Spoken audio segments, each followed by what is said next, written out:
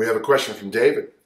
My question is regarding the 10,000 swing challenge. I'm 47 years old and just completed the first thousand swings, so this won't be a timely answer, but thank you. The problem I'm having is if I swing over 15 reps per set with my 24 kilo bell, my heart rate shoots up well over the 133 beats per minute, so he's using Maffetone's number. Is this okay for the challenge, or should I do lower reps per set? Well, uh, since it's just a challenge, you know, you certainly could argue that don't worry about your heart rate. If you were to be doing this uh, all 12 months of the year, I would say, you know, maybe you want to work on that heart rate, keep that a little bit lower.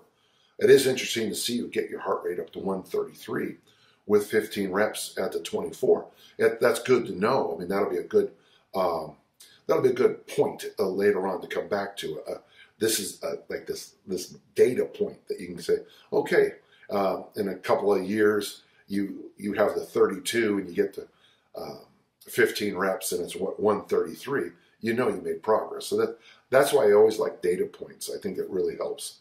Um, for the challenge, you have two options. Okay, one is let's for the 10,000 swings not worry about the heart rate, or play within those Maffetone numbers and just and do it the one way. Uh, you, you, you swing the bell to the heart beats, and whatever that number is, you go. So you you pick. You, you start every day at zero, boom, boom, boom, boom, beep, beep, beep, rest, more swings, beep, beep, beep, rest, and just keep uh, adding those numbers up to get to the 500. Or the second option, of course, is just get through those four weeks and uh, pat yourself on the back. Uh, I think both options are valuable, and I wouldn't mind seeing you do either each option a 10,000 swing challenge or uh, in one workout you do the heart rate monitor one and the other one you just do them and just see which one you prefer. Finally, a follow-up question.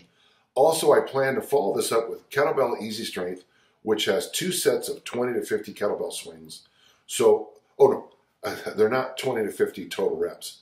Uh, you you can do them any way you like. And if you decide, let's just for you, David, I want you to do 50 total reps. So that's a set of five and three sets of 15. That's five sets of 10.